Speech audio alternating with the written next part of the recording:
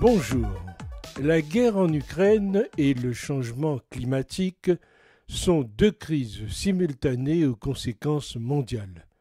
La guerre en Ukraine concerne deux importants producteurs de produits agricoles, notamment d'huile et de blé. La Russie était avant cette guerre le premier exportateur mondial, l'Ukraine était le quatrième. Ces deux pays exportaient massivement, mais les ports ukrainiens sont bloqués, le blé ne peut plus être exporté. Quant à la Russie, elle est la cible de sanctions qui compromettent ses exportations.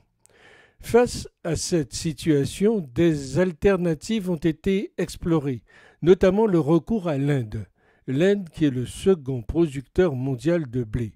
Compte tenu de sa population, 1 milliard 300, 300 millions d'habitants, sa production est prioritairement consacrée à satisfaire les besoins domestiques.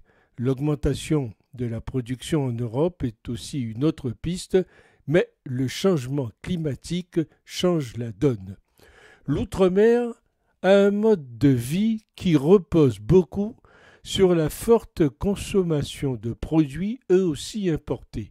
Ces trente dernières années, la part des produits dérivés du blé dans l'alimentation a augmenté au détriment d'aliments traditionnels. Le recours à l'importation a été favorisé et cette importation s'est traduite dans notre mode de vie et notre alimentation.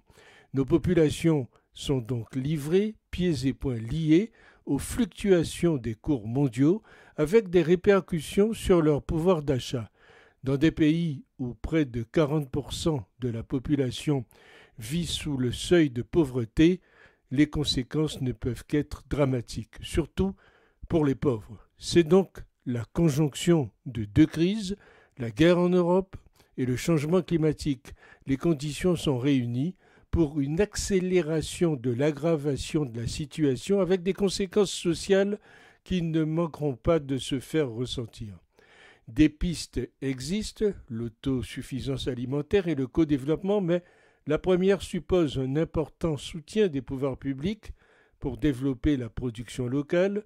Nos dirigeants doivent pouvoir décider de s'approvisionner au plus près de leur région et s'affranchir des décisions des majors du fret maritime qui ont tout intérêt au maintien de ces territoires sous la dépendance alimentaire de l'Europe. Enfin, la question des habitudes alimentaires est à revoir.